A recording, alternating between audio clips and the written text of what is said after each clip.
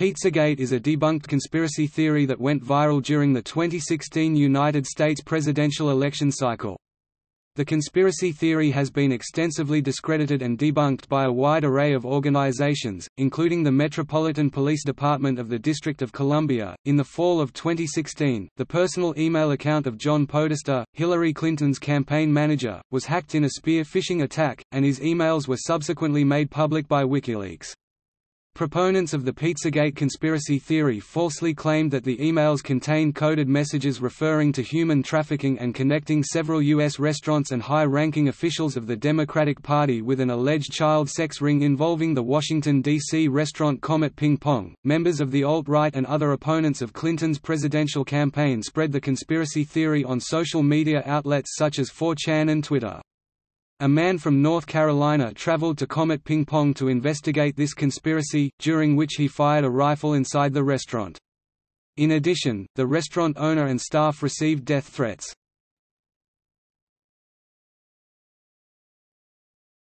Topic: Origins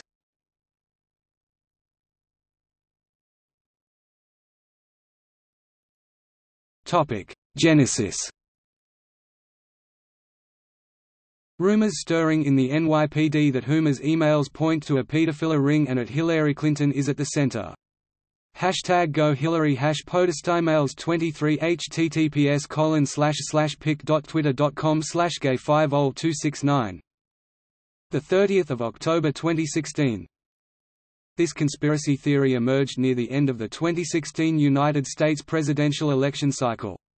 On October 30, 2016, a white supremacist Twitter account that presented itself as belonging to a Jewish lawyer in New York included a display of a claim that the New York City Police Department, which was searching emails found on Anthony Weiner's laptop as part of an investigation into his sexting scandals, had discovered the existence of a pedophilia ring linked to members of the Democratic Party.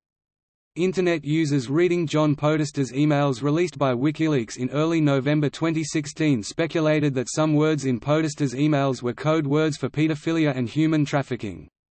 Proponents also claimed that the ring was a meeting ground for satanic ritual abuse. The theory was then posted on the message board Godlike Productions. The following day, the story was repeated on Your News Wire citing a 4chan post from earlier that year. The Your News Wire article was then spread by pro-Trump websites, including SubjectPolitics.com, which falsely claimed the New York Police Department had raided Hillary Clinton's property. The website Conservative Daily Post ran a headline falsely stating that the Federal Bureau of Investigation had confirmed that story.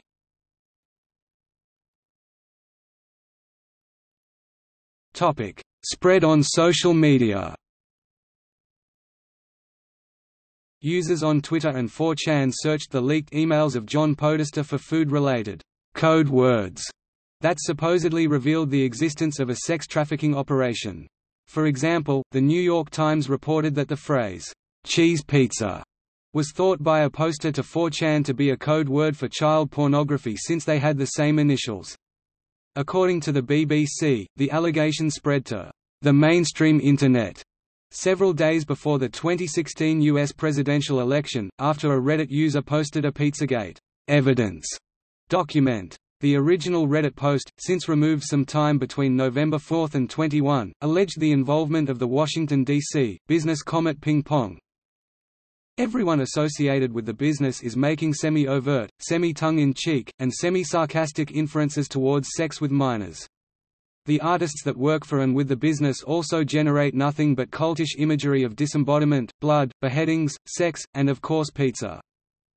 The story was picked up by fake news websites such as Infowars.com, Planet Freewill and The Vigilant Citizen, and has been promoted by alt-right activists such as Mike Cernovich, Brittany Pettibone, and Jack Posobiec.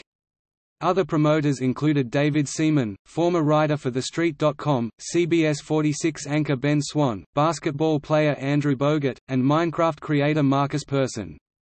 On December 30, as Bogut recovered from a knee injury, members of R, the Donald community on Reddit promoted the false theory that his injury was connected to mild support for Pizzagate.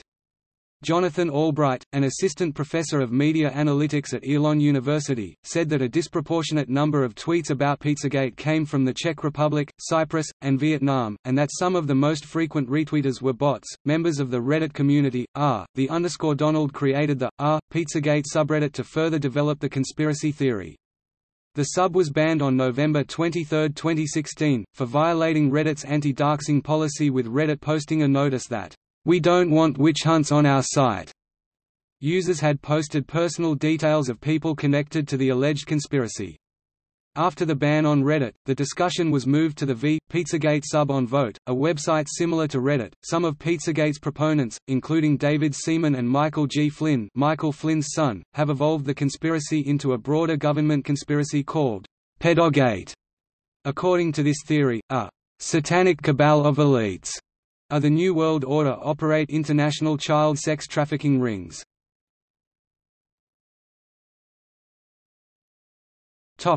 Turkish press reports In Turkey, the allegations were reported by pro-government newspapers i.e., those supportive of President Recep Tayyip Erdogan, such as Sabah, A Haber, Yeni Safak, Akşam and Star. The story appeared on Turkey's Ekşi Sözlük and on the viral news network Haberself, where anyone can post content. These forums reposted images and allegations directly from the since-deleted subreddit, which were reprinted in full on the state-controlled press. F. A. Sozeri, a columnist for the Daily Dot, suggested government sources were pushing this story in order to distract attraction from a child abuse scandal in March 2016.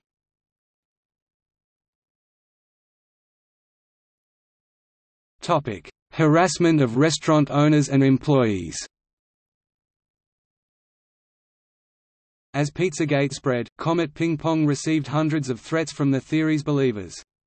The restaurant's owner, James Alefantis, told the New York Times, "...from this insane, fabricated conspiracy theory, we've come under constant assault.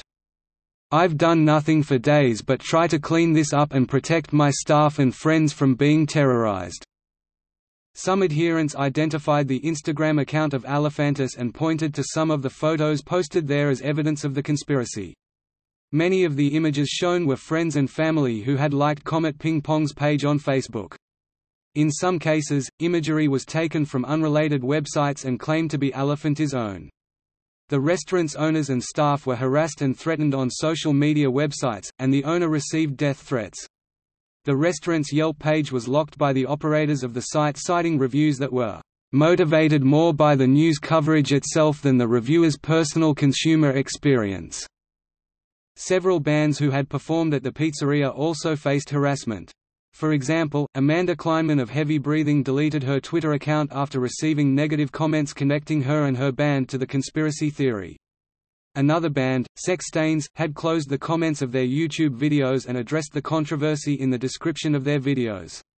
The artist Arrington de Dionyso, whose murals are frequently displayed at the pizzeria, described the campaign of harassment against him in detail, and averred of the attacks in general. I think it's a very deliberate assault, which will eventually be a coordinated assault on all forms of free expression." The affair has drawn comparisons with the Gamergate controversy. Pizzagate-related harassment of businesses extended beyond Comet Ping Pong to include other nearby DC businesses such as Besta Pizza, three doors down from Comet, Little Red Fox, the popular bookstore Politics and Prose, and the French bistro Terrasol. The businesses received a high volume of threatening and menacing telephone calls, including death threats, and also experienced online harassment. The co-owners of Little Red Fox and Terrasol filed police reports. Brooklyn restaurant Roberta's was also pulled into the hoax, receiving harassing phone calls, including a call from an unidentified person telling an employee that she was going to bleed and be tortured. The restaurant became involved after a since-removed YouTube video used images from their social media accounts to imply they were a part of the hoax sex ring.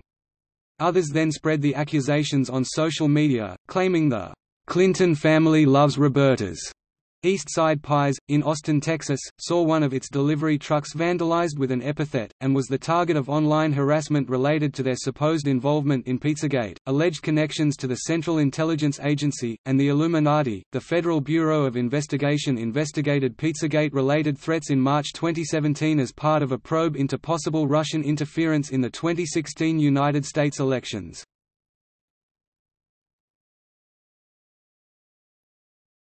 Topic: Comet ping pong shooting.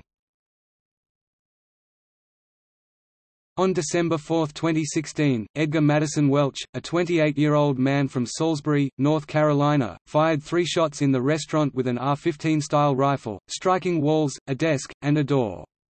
Welch later told police that he had planned to self-investigate the conspiracy theory. Welch saw himself as the potential hero of the story—a rescuer of children. He surrendered after officers surrounded the restaurant and was arrested without incident. No one was injured. Welch told police he had read online that the Comet restaurant was harboring child sex slaves and that he wanted to see for himself if they were there. In an interview with The New York Times, Welch later said that he regretted how he had handled the situation but did not dismiss the conspiracy theory, and rejected the description of it as fake news.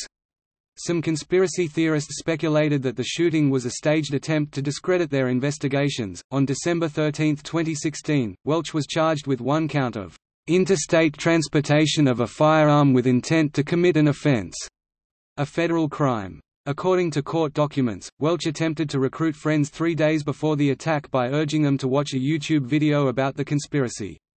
He was subsequently charged with two additional offences, with the grand jury returning an indictment charging Welch with assault with a dangerous weapon and possession of a firearm during the commission of a crime. On March 24, 2017, following a plea agreement with prosecutors, Welch pleaded guilty to the federal charge of interstate transport of firearms and the local District of Columbia charge of assault with a dangerous weapon. Welch also agreed to pay $5,744.33 for damages to the restaurant. U.S. District Judge Ketanji Brown Jackson sentenced Welch to four years in prison on June 22, 2017. At the sentencing hearing, Welch apologized for his conduct and said that he had been foolish and reckless on January 12, 2017, Yusef Lee Jones, a 52-year-old man from Shreveport, Louisiana, pleaded guilty in the U.S. District Court for the Western District of Louisiana to making a threatening phone call three days after Welch's attack, to Besta Pizza, another pizzeria on the same block as Comet Ping Pong. He said that he threatened Besta to «save the kids» and «finish what the other guy didn't».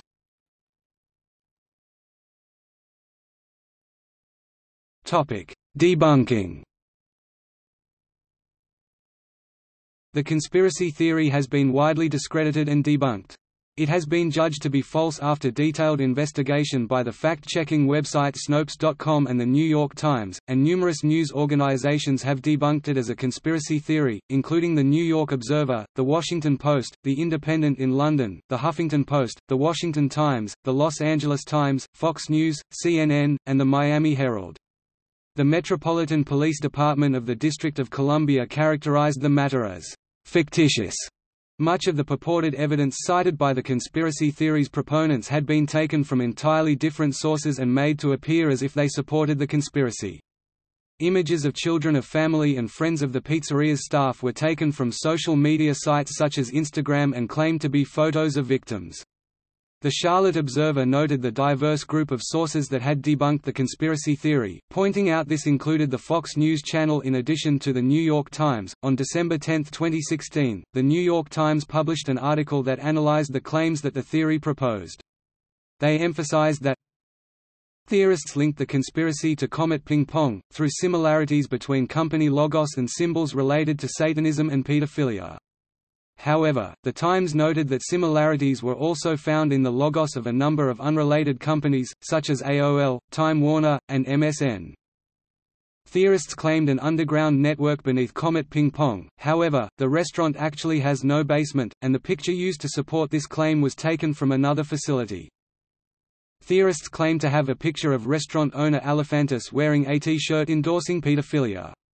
However, the image was of another person, and the shirt, which read, J. Hart L'Enfant was actually a reference to the L'Enfant Café bar in D.C., whose owner was pictured in the image, and which itself is named after Pierre-Charles L'Enfant, designer of much of the layout of Washington, D.C. Theorists claimed John and Tony Podesta kidnapped Madeleine McCann using police sketches that were, in fact, two sketches of the same suspect taken from the descriptions of two eyewitnesses. No alleged victims have come forward and no physical evidence has been found.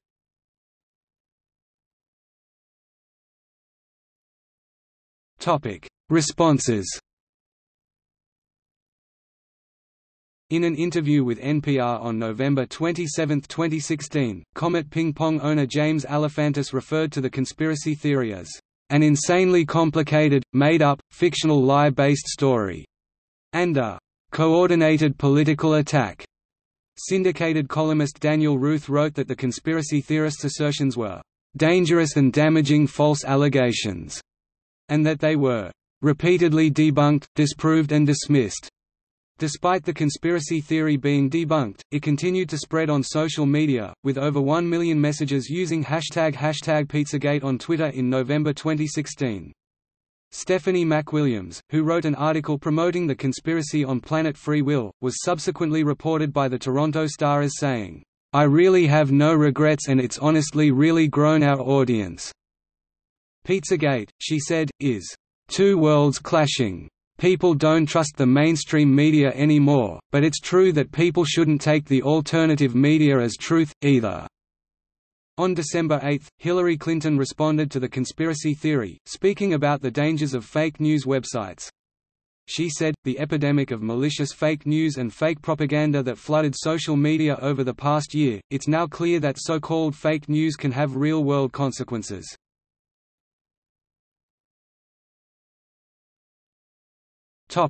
Public opinion. A poll conducted by Public Policy Polling on December 6–7, 2016, asked 1,224 U.S. registered voters if they thought Hillary Clinton was "...connected to a child sex ring being run out of a pizzeria in Washington, D.C. The poll showed that 9% said that they did believe she was connected, 72% said they did not, and 19% were not sure. A poll of voters conducted on December 17 to 20 by The Economist, YouGov asked voters if they believed that leaked emails from the Clinton campaign talked about pedophilia and human trafficking Pizzagate. The results showed that 17% of Clinton voters responded, true, while 82% responded, not true and 46% of Trump voters responded, true, while 53% responded, not true.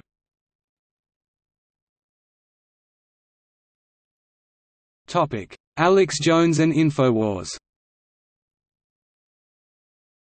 After the Comet Ping Pong shooting, Alex Jones backed off from the idea that the DC pizzeria was the center of the conspiracy. On December 4, Infowars.com uploaded a YouTube video that linked Pizzagate to the November 13 death of a sex worker rights activist. The video falsely claimed that she had been investigating a link between the Clinton Foundation and human trafficking in Haiti and it speculated that she had been murdered in connection with her investigation. According to the activist's former employer, her family and her friends, her death was in fact a suicide and she was not investigating the Clinton Foundation. By December 14, Infowars had removed two out of three of its Pizzagate-related videos. In February 2017, Alefantis lawyers sent Jones a letter demanding an apology and retraction. Under Texas law, Jones was given a month to comply or be subject to a libel suit. In March 2017, Alex Jones apologized to Alefantis for promulgating the conspiracy theory, saying, To my knowledge today, neither Mr. Alefantis, nor his restaurant Comet Ping Pong, were involved in any human trafficking as was part of the theories about Pizzagate that were being written about in many media outlets and which we commented upon.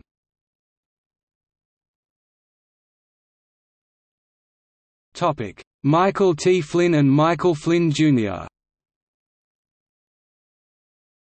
In November 2016, Michael T. Flynn, then on President-elect Donald Trump's transition team and Trump's designate for national security advisor, posted multiple tweets on Twitter containing conspiratorial material regarding Hillary Clinton alleging that Clinton's campaign manager, John Podesta, drank the blood and bodily fluids of other humans in satanic rituals, which Politico says, soon morphed into the hashtag Pizzagate conspiracy theory involving Comet Ping Pong. On November 2, 2016, Flynn tweeted a link to a story with unfounded accusations and wrote, "You decide, NYPD blows whistle on new Hillary emails, money laundering, sex crimes W children, etc. Must read. The tweet was shared by over 9,000 people, but was deleted from Flynn's account sometime between December 12 to 13, 2016. After the shooting incident at Comet Ping Pong, Michael Flynn Jr., Michael T. Flynn's son and also a member of Trump's transition team, tweeted, Until hashtag Pizzagate proven to be false, it'll remain a story. The left seems to forget hashtag Podesta emails and the many coincidences tied to it. On December 6, 2016, Flynn Jr. was forced out of Trump's transition team. Spokesman Jason Miller did not identify the reason for Flynn Jr.'s dismissal, however, The New York Times reported that other officials had confirmed it was related to the tweet.